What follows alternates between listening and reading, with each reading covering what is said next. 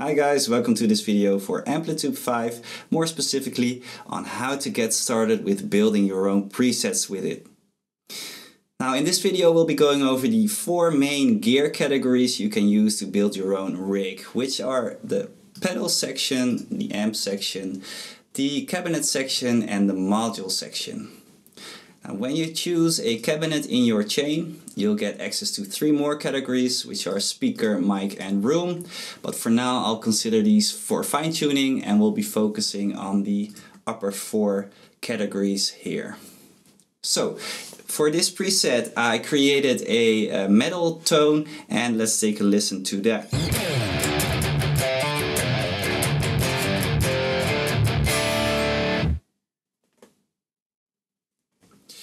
Okay, so let's uh, take a look at all the components here. First category is the pedal category. So you can either select a pedal in your chain or select the pedal icon on the top right and you'll see all the pedals you have available here depending on which product you bought for Amplitube 5. Now you can order these uh, components either by type or by collection.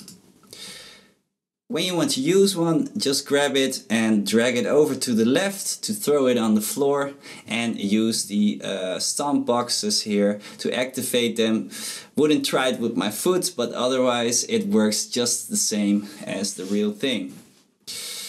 So um, don't take these pedal settings uh, like a photocopy and expect your guitar to sound the same. Because it won't your uh, guitar might have a different output it will sound completely different than any other guitar it might have other pickups. So you'll have to adjust the settings of the pedals to your own uh, guitar specifically so for example the gain booster over here and the noise gate it might work with one guitar might not with another so adjust these accordingly second category is the amp category same thing, you'll have lots of amps available on the right side here.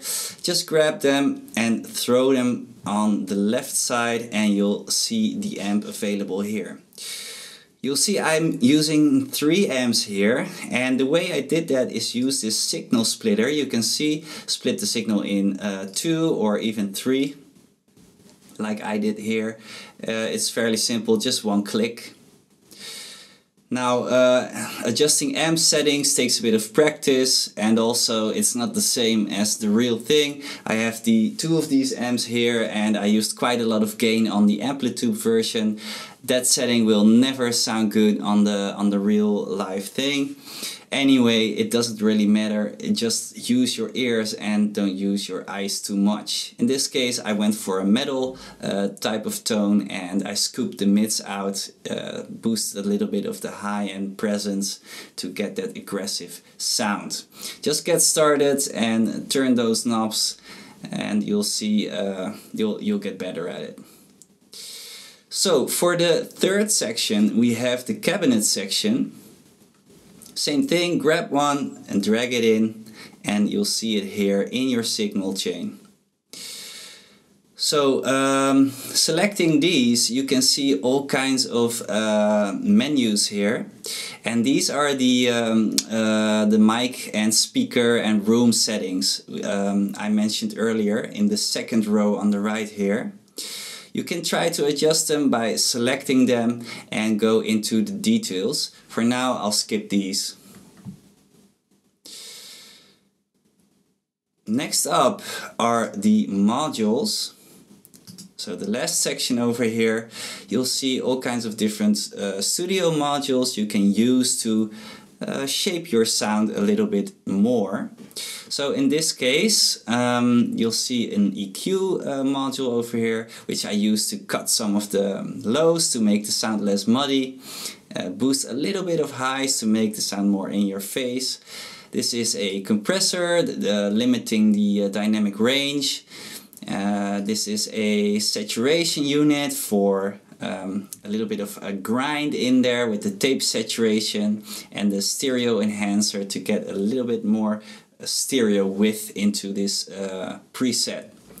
The cool thing with this uh, section, the module section, is you can also throw in pedals, so that's a cool bonus tip. Just grab any pedal and throw it after the uh, the mixer icon right here, and you'll see Amplitube create will create a uh, module with a pedal inside. You'll have to press the edit button to be able to uh, edit or adjust the settings of the pedal.